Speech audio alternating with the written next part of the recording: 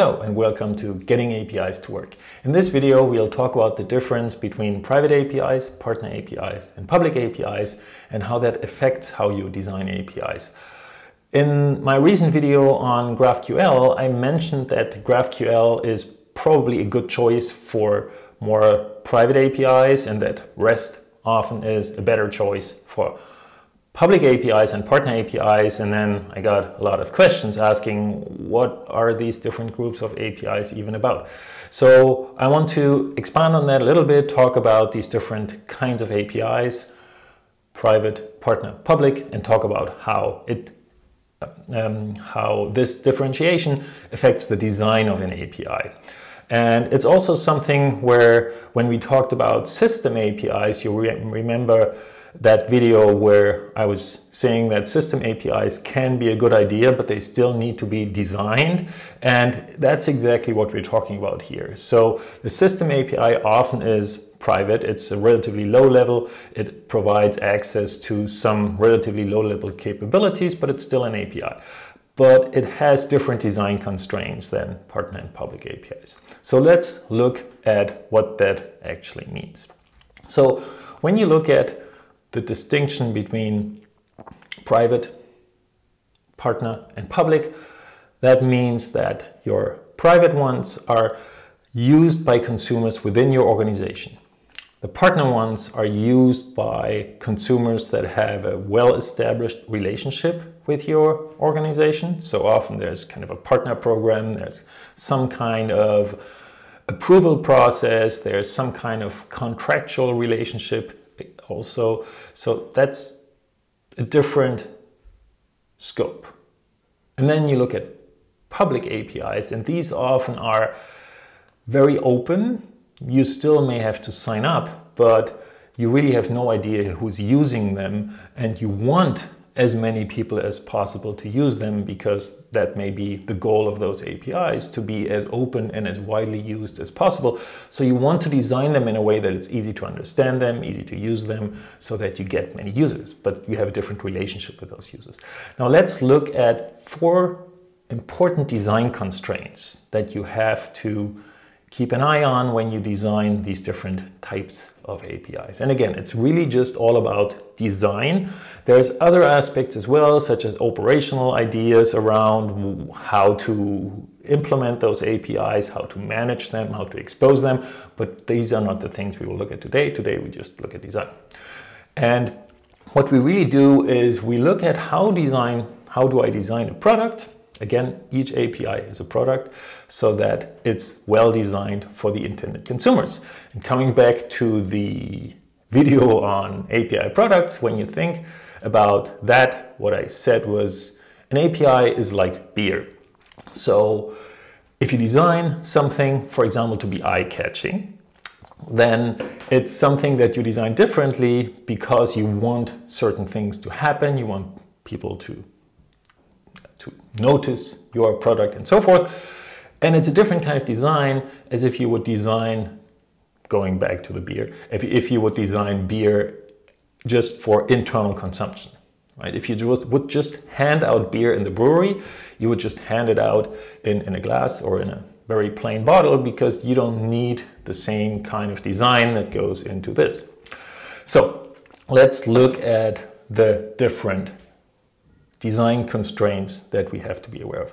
The first one is the domain knowledge. So when you look at what you can count on, then for private APIs, it's very clear that users of the private API, they are within your organization, so they know much more about what your organization is doing, what the whole context is of data and services that you provide. So you can, you can count on that. That's something that you can easily take as one aspect of design. If you look at partner APIs, it's already a little bit different. You may, you, very likely you do not want to expose the whole complexity of what all of your APIs are doing, but you may have a portfolio of partner APIs. So that's kind of the relationship of uh, the, the domain that you can count on. And the last one are public APIs. So when you look at public APIs, you really don't want to count on any domain knowledge because you want people who want to use your API. You want them to very easily understand what your API does without having to learn a lot of related concepts. So the domain that you would then be able to count on should be as small as you can possibly make it so that it's easy to understand. Okay, that was the first one. Let's go to the second one. The second one is the relationship with the consumer. So when you look at private APIs, it's something where the consumers and the producers are in the same organization. So you can manage things much more easily, such as when you want to, for example, change the API or you want to decommission the API.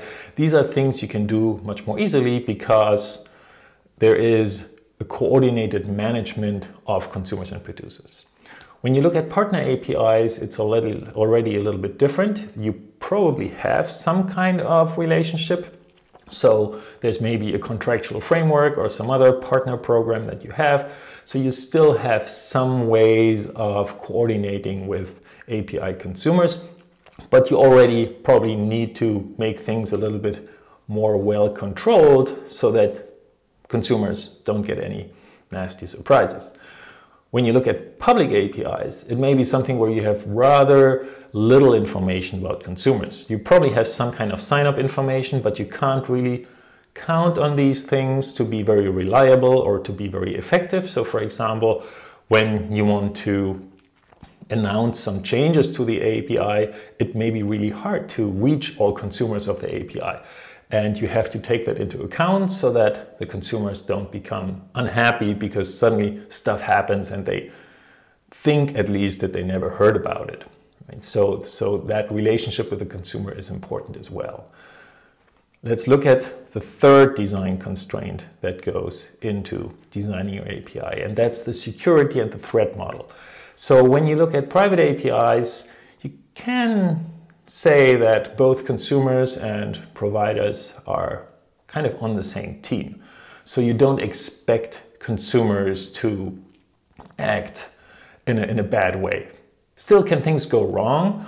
But um, it's not really something that you are expecting, so to speak. So it's a different kind of threat level, so to speak. Right? For partner APIs, it's already a little different. So you all, you probably also have some kind of relationship, again, maybe contractual. So you still expect partners to be cooperating, but maybe they just have a little less interest to be extremely cooperating, right? And for public APIs, you really don't know and you treat every consumer as a potential threat. That also means for security, you have a different aspect how you may handle that. For, for private APIs, maybe you want to use single sign-on systems so that consumers using many APIs have an easy time using all of them. And for Partner APIs, maybe that's too complicated, but you may have some partner processes in place that you can count on so that partners don't have to onboard to each API individually or with different mechanisms. And for public APIs, you treat each individual API completely as its self-contained thing. So security should be as simple as you can make it so that people can sign up easily and that's a process you want to make as friction-free and as uncomplicated as possible. And now let's look at the last aspect of design constraints, and that is the, the landscape, the design context. So when you design an API, in particular in the private context, you probably have many other APIs. And one important aspect of designing an API then is also to think about how does that fit into my API landscape? Does it reuse concepts? Does it reuse certain let's say, uh, design patterns that I'm using so that people who are using a bunch of my internal APIs already have an easy time understanding that new one because it's part of the landscape and they all follow similar design principles. When you look at partner APIs, it may be a little different. There, your design context is probably whatever APIs you have in this partner API landscape. So again, that if you have partners using multiple APIs, that it's easy for them to use more than one API without each API being completely different.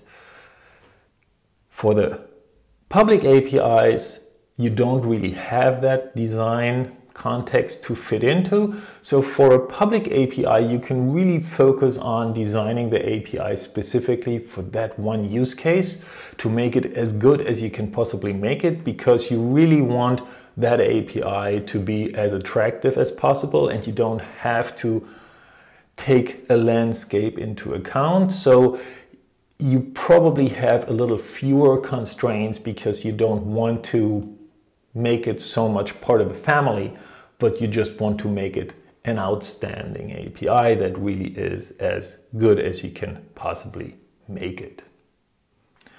Okay, and with that, we went through all of these four design constraints. So once again, this was just about designing APIs and we talked about how whether you're designing a private API, a partner API, or a public API, how that may affect the way you design the API. So keep that in mind. And in particular, whenever you are designing APIs, try to think about in which class it belongs. And that may give you some good inputs in terms of better framing your design process and making design decisions that lead you to the best possible API for that case. So thanks a lot for listening. If you liked the video, please give it a thumbs up and also please subscribe to my channel. I'll keep posting more stuff um, in the next couple weeks. So thanks again and see you around. Bye.